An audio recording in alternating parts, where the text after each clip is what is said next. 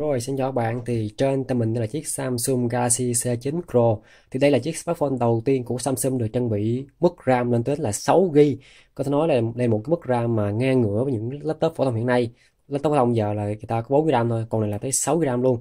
Tuy nhiên thì với cái mức RAM như vậy thì những người dùng phổ thông liệu họ có cần cái mức RAM 6GB hay không?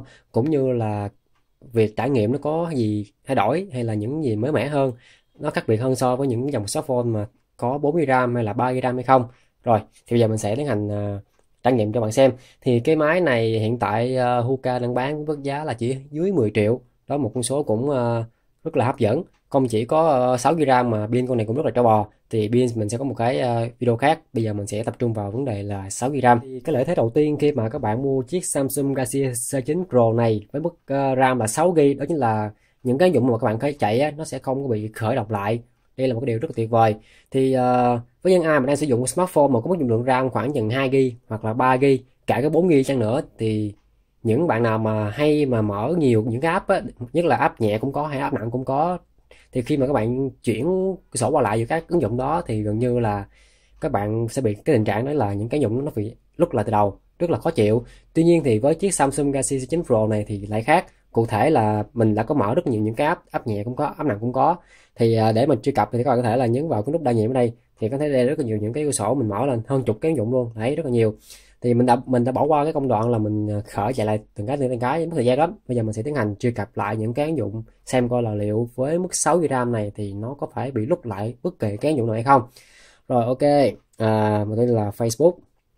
Đây hiện tại là Facebook này nó cũng uh, bình thường không gì hết tiếp theo thì chúng ta có một cái app là, đây là cái app VR để mà trải nghiệm thực tế ảo. Thì cái rõ ràng là nó vẫn vào bình thường, nhưng mà do cái bản này là bản trial, cho nên là nó không có cho mình ờ, vào cái app rất là khó chịu.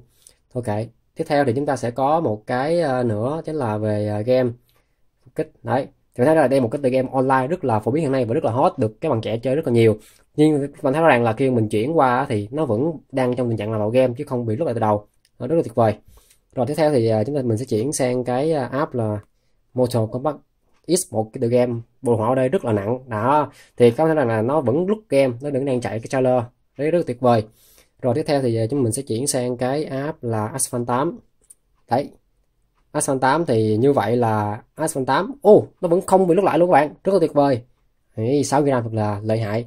Rồi tiếp theo thì chúng ta có vào một uh, cài đặt đi cài đặt thì nó vẫn không có biểu lúc lại. Đó.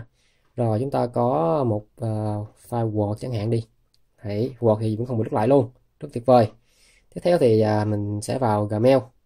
Gmail cũng không bị luôn. Rồi mình sẽ vào uh, YouTube. Này YouTube.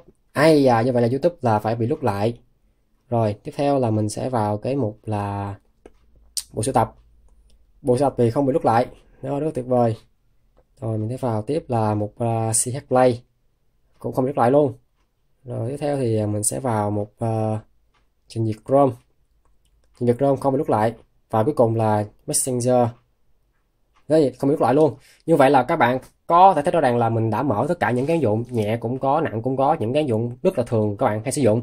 Thì hầu như là nó đều vượt qua rất là dễ dàng không hề bị lút lại bất kỳ ứng dụng nào chỉ ngoài trừ cái uh, YouTube thôi đó.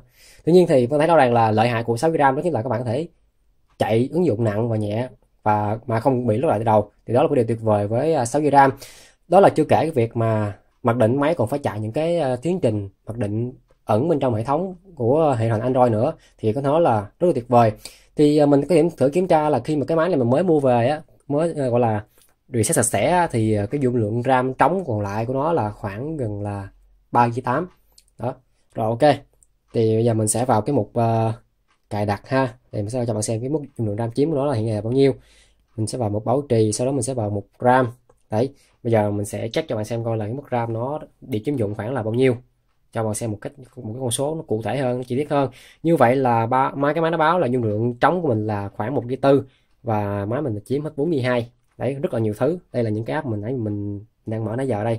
Rồi, thì đó là cái yếu tố đầu tiên khi mà các bạn có được lợi thế với 6 GB RAM trên chiếc Samsung Galaxy S9 Pro.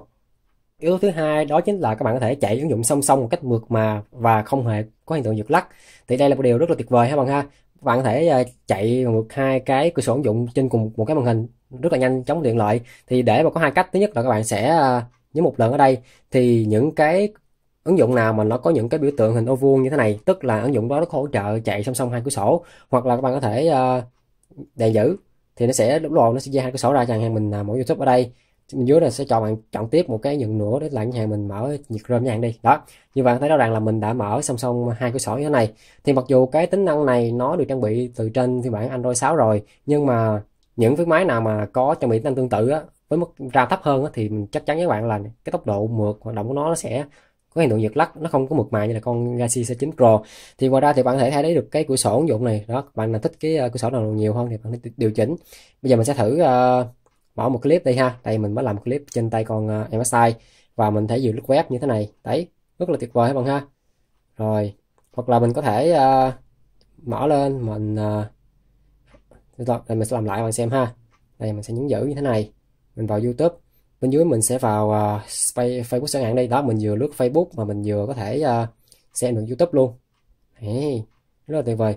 Rồi thì đó là về cái đa nhiệm chạy song song mượt mà trên cái chiếc uh, Samsung Galaxy C9 Pro.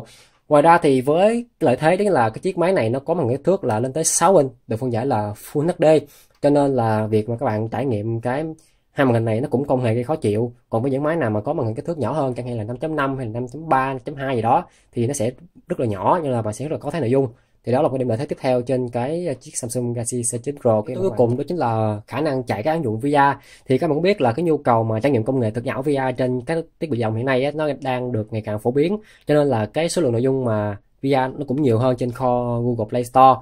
Tuy nhiên thì các bạn biết là những cái dùng thực tế ảo VR á, nó chiếm rất là nhiều dung lượng RAM không hề thua kém những cái tựa game đồ họa bên đây nặng. Cho nên là nếu như bạn nào mà không có một cái thiết bị di động smartphone mà có mức RAM nhiều á thì cái việc mà các bạn xài mà nó hiện tượng giật lắc á, thì nó sẽ xảy ra rất là chuyện rất là hiển nhiên.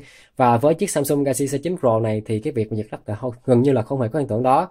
Thì bạn thấy rằng là mình à, đang à, bật cái app trải nghiệm cái thực não VR cho bạn xem. Đó bạn thể uh, có một cái kính carbon tự làm bạn gắn vào để bạn chơi game xong. Mình không có kính VR khá đáng tiếc. Tuy nhiên thì mình đang minh họa cho xem.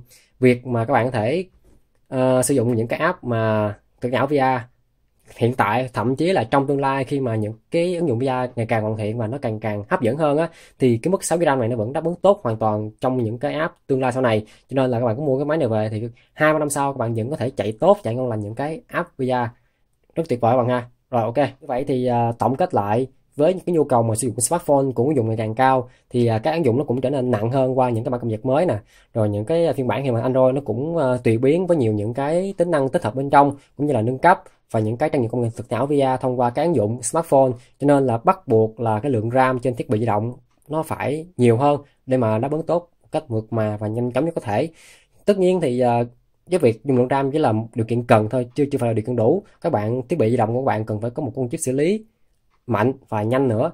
Cho nên là tất nhiên thôi chiếc C9 Pro này nó được chuẩn bị chip xử lý là Qualcomm Snapdragon 653 8 nhân. Cho nên là nó xử lý những cái app rất là mượt mà thì như vậy là có thể nói là cái chiếc Samsung Galaxy C9 Pro này thực sự là mảnh thú đúng nghĩa khi mà nó mang đến những cái trải nghiệm đầy tuyệt vời. Rồi, thì đó là những gì mà mình muốn chia sẻ với các bạn về chiếc Samsung Galaxy C9 Pro, một chiếc smartphone đầu tiên của Samsung được trang bị tới 6 GB Và nào có kiến gì về thiết bị thì các bạn có thể comment dưới video các bạn ha. Rồi, xin các bạn.